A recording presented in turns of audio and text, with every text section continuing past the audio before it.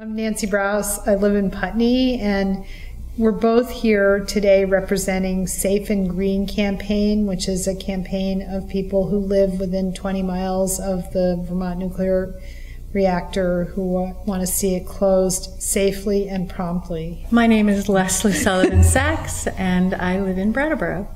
And in addition to the Safe and Green campaign, I also work with the SAGE Alliance, which is a collective of anti nuclear groups and affinity groups working to shut down Vermont Yankee. And we're here to talk about uh, this coming weekend's Fukushima anniversary events. Two years ago, on March 11th, the start of the disaster at Fukushima began, the beginning of the meltdown at the reactors of Fukushima Daiichi in Japan. And we were here because we're promoting a group of events that are going to commemorate and honor the people that have been affected by this and let people know in the local area how how close the parallels are between Vermont Yankee and the Fukushima nuclear power. plant. About a month ago, Chiho Kaneko came to Brattleboro and gave a presentation, which you can watch on Brattleboro Community Access TV. Um, and we were very moved by her presentation. Not only did she talk about uh, the facts of the situation on the ground in Fukushima. But she also shared the stories of the people that she met when she went there. Chiho was raised in Japan. She's lived in the United States for the last uh, 15 years or so. And she's visited the Fukushima prefecture four times since March 2011. And she did this beautiful slideshow presentation. And it really uh, touched my heart and the hearts of the standing room only crowd who was there to hear her tell these individual stories. And that's when we started uh, reading and doing research on what happened to the people of the towns in the evacuation zone around the Fukushima Daiichi reactors. One of those reactors is the same as ours here in Vernon. It's uh, built by General Electric. Um, ours is just a year difference in age, and it's a boiling water reactor. And the only major difference is that in that reactor, the spent fuel pool in Vermont Yankee contains far more highly radioactive nuclear waste than all of the spent fuel pools at Fukushima Daiichi combined. So it's even more of a worry should something occur similar in, in severity to what happened at Fukushima Daiichi. So we started reading about these towns in the evacuation zone around Fukushima. There are six of them that they have since determined will be ghost towns. Most likely, people will never return. 160,000 refugees after the tsunami earthquake and the beginning of the meltdowns. Of those 160,000 nuclear refugees, only 27,000 people have been able to return to their homes. One of those towns is Namie. It's five miles northwest of the reactor just like Brattleboro. They even have a literary festival every year, just like Brattleboro had. Had. Uh, they had fires that they had to recuperate from. They loved parades, and they even had uh, been cataloging their grand trees, just like we do in Brattleboro. So I was really touched when I read about Namie and thought about the similarities. And uh, Nancy and I started talking, and we thought, what if to commemorate this anniversary, we reach out to the towns in the evacuation zone here around Vermont Yankee and say, start reading about the town that's most similar to yours, learn about it, and then share that information with the people in your town So that's what we'll be doing this weekend. Unlike Namie, Iitate is 24 miles northwest of Fukushima Daiichi.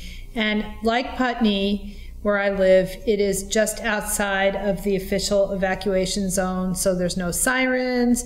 Nobody has any kind of, you know, any information should something go wrong at Vermont Yankee.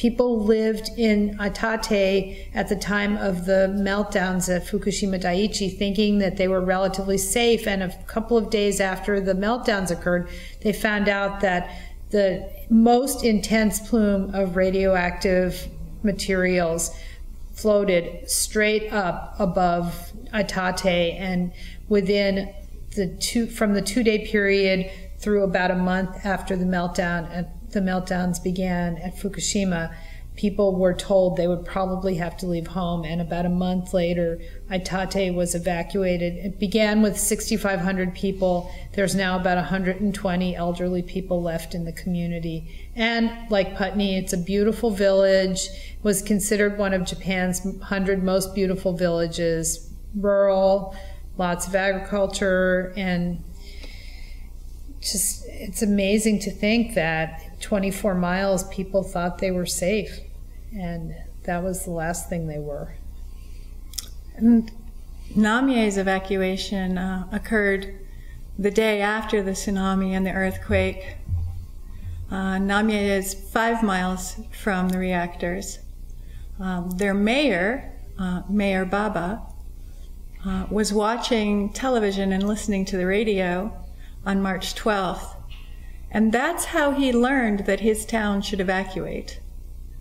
Um, so he initiated the evacuation proceedings based on the word of the Prime Minister over national TV.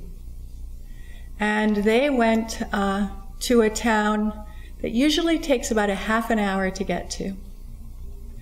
Uh, that town, on the day they were evacuating, it took them three and a half hours 22,000 people evacuated from Namie. And there were people evacuating to this town from all over the evacuation zone. The name of the town is Tsushima. I may not be pronouncing that correctly, and I apologize to the people of Tsushima if I am not. Uh, Tsushima, come to find out, was also directly in the path of this radioactive cloud, even though it too was over 25 miles away from the reactors. What happened was around 3:30 in the afternoon on March 12th, there was what they thought was a hydrogen explosion in Fukushima number 1, and that cloud came directly over the village of Tsushima. The people of Namie and the people of Tsushima did not learn that they had been in the path of this radiation until three months later.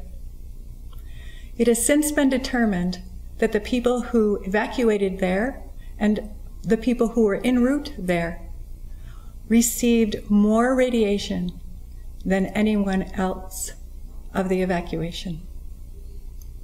So they get to this town, they all pile into the, uh, the school, and more and more people come, and it's completely overcrowded.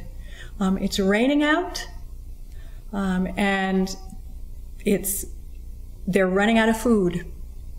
So Mayor Baba went to another town, Nihonmatsu, and he asked Nihonmatsu if they would take in his people from Namie. Nihonmatsu had lost 2,000 homes to the tsunami and the earthquake. However, they did open their hearts to the people of Namie. So Mayor Baba took his people and they trekked again to Nihonmatsu. It, for the next three or four months, they stayed in Nihonmatsu. Some went all over the country, but they were waiting because the national government kept saying, just a few more weeks, just a few more weeks, and you'll be able to go back home. But then the truth started to reveal itself that no, people would never be able to return to the town of Namie again. The levels of contamination are 500 times the international standard for safety. So now the 22,000 people of Namie are scattered in 42 different places around the country of Japan. 1,200 of them are living in a skyscraper in Tokyo.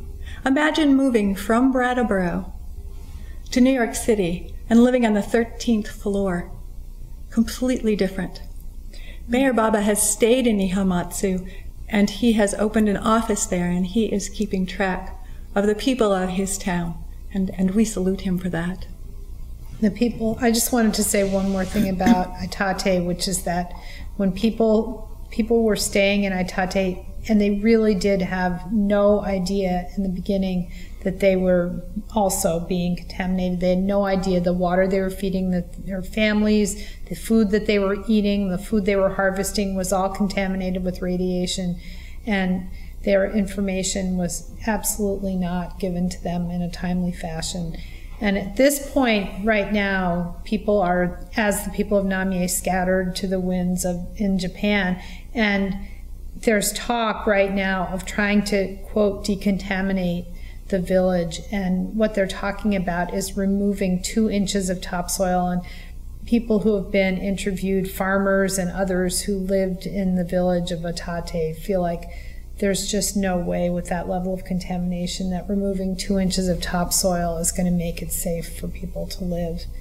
So we we have decided to try to publicly get these stories out. And one of the things that we're doing is we've set up a, a group of vigils for this coming weekend to commemorate this Fukushima disaster. And the Putney Vigil is going to be Saturday from 1 to 3 at the sidewalk in front of the Tavern Green. And we will we'll carry signs and we'll have information for people in Putney about Iitate and the fate of people in Iitate and hopefully just general information about the town, how it was before the disaster and how it is now. And hopefully, people in Putney will come to see, as we see, that these parallels are very striking, and we need to make sure that we never become the area around Fukushima.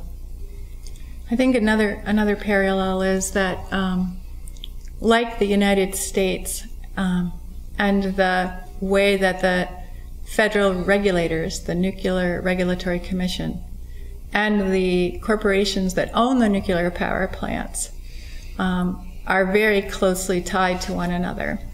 That same situation uh, occurs in Japan.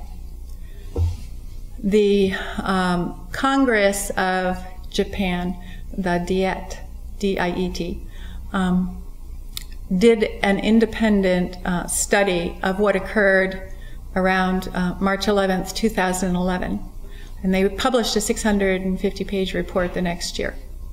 And what they concluded was that the tragedy of the Fukushima meltdowns is a man made tragedy, not a natural disaster.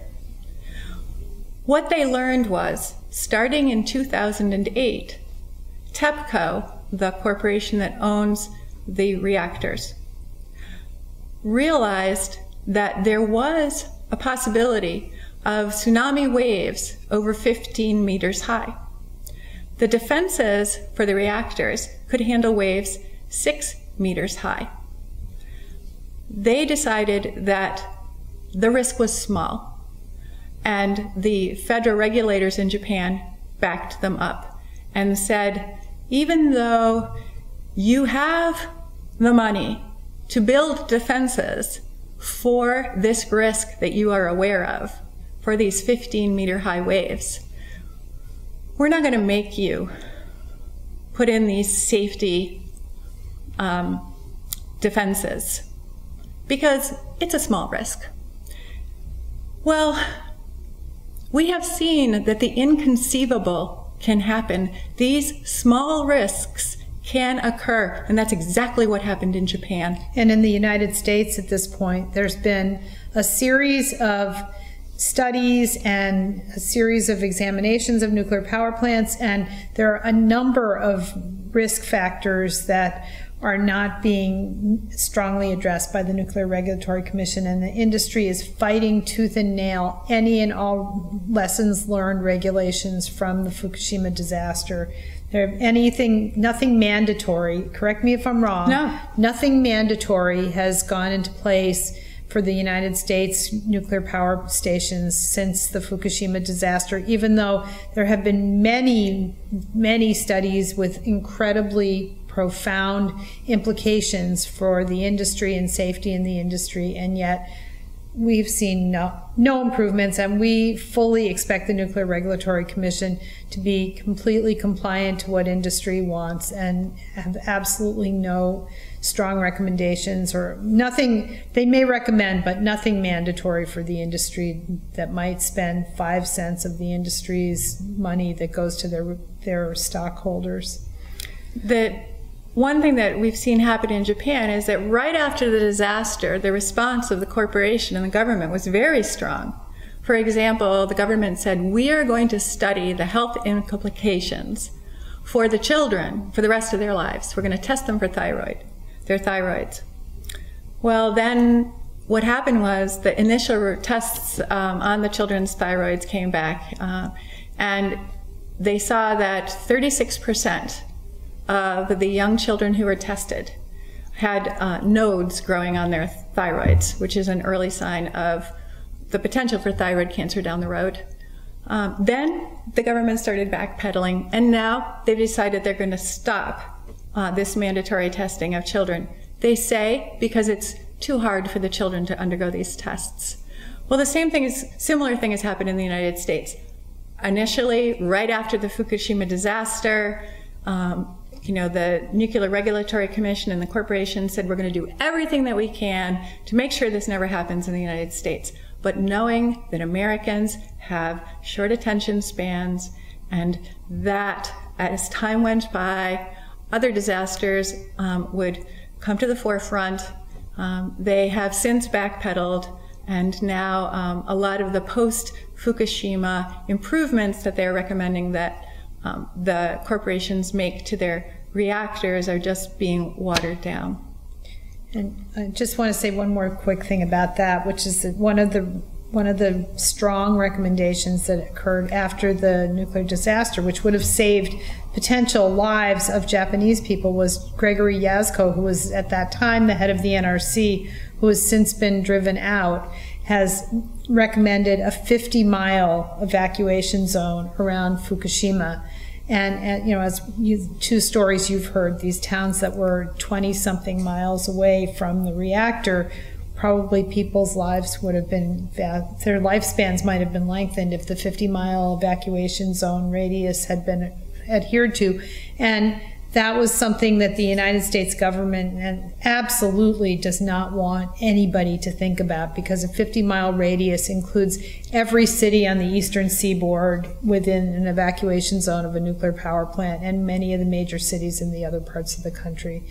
And I mean, it's only, there's nobody that could think about the concept of evacuating New York City, evacuating Philadelphia, evacuating Washington D.C. It's right. just inconceivable. So that was real. That was quashed pretty quickly. And two years after Fukushima, they haven't actually put any regulations into effect yet. They're still studying them and and uh, considering what post Fukushima changes should be made at nuclear reactors. So since we live so close to um, Vermont Yankee, um, we will be representing the town of Namie, um, and we will be in Pliny Park from 11 until 1 this coming Saturday, March 9th. Um, we will have uh, handouts for everyone um, with some of the stories about the um, different evacuations of the other towns as well, as well as Namie's. We're also going to be making a card that anyone can send messages to Mayor Baba, um, who is the mayor of Namie. Uh, we're very lucky because he has an office still that we can mail that to. Um, there are other towns that are also representing different evacuation, evacuated ghost towns around Fukushima. In Amherst, Massachusetts, they're going to have a table at the farmers market. Um, Wendell, Massachusetts, um, which is just 15 miles away, is going to be representing the town of Hirono, uh, which is a ghost town pretty much. Um, and in Hanover, New Hampshire, on Monday, um, they have a sister city, um, which it just so happens is the same town that Mayor Baba is now living in and that the Namie refugees went, um, the town of Nihonmatsu. Um, and they'll be having their vigil on uh, Monday in front of the town hall in Hanover. In Greenfield, Massachusetts, this coming Saturday from 2 to 4, they'll be on the town common and they'll be representing the town of Kawauchi. And the last event we're doing related to this is in Vernon on Sunday from 11 to 1, or 11 to 12 rather, is just going to be a solemn one hour vigil commemorating the disasters at Fukushima. And well, the people who are doing the individual vigils for the evacuation towns will be there and we'll bring some of our um, signs and our flyers um, to further spread the word about the evacuation towns. One thing that's happened in Japan, it's there's all these unintended consequences, uh, things that I never thought about, although many times I've thought about what would happen if Vermont Yankee melted down. Well, one thing I never thought about was the impact on the freedom of the press. Uh, Japan was once known for having um, one of the best uh, media in the world, um, most transparent, um, most freedom of the press. It was in the top 15, rated top 15, just two years ago by a group called Reporters Without Borders that studies freedom of the press worldwide. This year, Reporters Without Borders ranked the Japanese media number 55. And it's all because of the amount of suppression that has gone out on the truth about what is happening in post Fukushima Japan. The lies about radiation in the food, about the collusion between the government and the nuclear corporations and other related issues. And lies about the future health future health possibilities for people that there's there's the nuclear industry continues to say that there have been no casualties from Fukushima Daiichi and that the future outlook for people who have been exposed to the levels of radiation that they've been exposed to are just peachy and peachy. We don't believe it for a minute. And I think most science, most educated people and scientists who are not in the pocket of the nuclear industry don't believe it either. It's one of the one of the real um, eerie things that journalists have reported when they've gone back to these evacuation towns is that they look perfectly normal. You can't taste it, you can't smell it, you can't feel it. And unlike the places that got devastated by the earthquake and tsunami, a, a lot of these areas didn't get touched. Uh, it's, it's an invisible plague on the earth, the air, and the water. Um, and the cancers often take a minimum of 10 years before they emerge. Um, and so it's a, a, a thing that's easy for the media to suppress and for governments to withhold the truth about. Yeah, and the, you know, the decontamination attempts in the area are it's it's just incredibly impossible to consider because they want to decontaminate soil. They want to, you know, take contaminated buildings, contaminated all, you know, all sorts of contaminated materials, and there's no place to put it. There's absolutely. They're talking about actually making six state parks into zones of contamination where they actually dump radioactive material. Another possibility is the areas around the nuclear power plants, when those communities that are that are affected forever. But, you know, immediately my thought with that was, great, you've got a lot of radio, highly radioactive material on the water where the Fukushima Daiichi plant is. So, should there be another tsunami, what's the first thing that happens? All that radioactive material washes into the Pacific. Great idea. So, it's it's it's a very incredible conundrum that this world has gotten itself into, creating the most dangerous waste product ever known to humanity. I think that a lot of uh, people ask us, well, if you're so afraid of the nuclear power plant, why do you live here? And I think that a lot of people who live here deal with that issue by you know, being in denial and not learning about these kind of horrific things that, of course, can make us all feel very sad. Um, but one of my personal mantras has always been action is the antidote to despair. There's a lot of things in life can paralyze us. I mean, let's think about, I don't know, you know, the horrific things that they say about what could be in our food now, for example. Um, it, it kind of makes you want to stop eating sometimes, you know? But you can't stop eating. You got to go take care of uh, your, your body and your soul. So we can't be paralyzed um, and we can't determine our personal life choices by some of these horrific events, um, except that what we can do is speak out when we are moved by a particular issue. Um, for me personally, this has been an issue that I felt moved to speak out about. Um, I'm very thankful to all the people out there who are speaking out about the other important issues I care about, like healthcare, GMOs, women's reproductive rights, history, you know, the drones, peace. There's so many issues. You got to pick the one that really motivates you. This was the one that motivated me. Um, I, I would go on further to say that because nuclear power has so many inherent inherent dangers for the future of the world. I mean, my, you know, I have a grandson. My grandson's grandson's grandsons will still be dealing with this waste. This is whether I live here or whether I don't live here. This is happening, and the fact that I live here gives me greater incentive to say stop, to say enough, to say we there are better, safer, and smarter ways to be producing the power that we need to keep our life afloat in this society. And no, I think I'd like to think that at this point, no matter where I lived, I would be involved in this movement. But because I live here, I'm able. It gives me greater incentive to do the right thing, speak out for the future of people on this earth and for the other creatures that we share it with.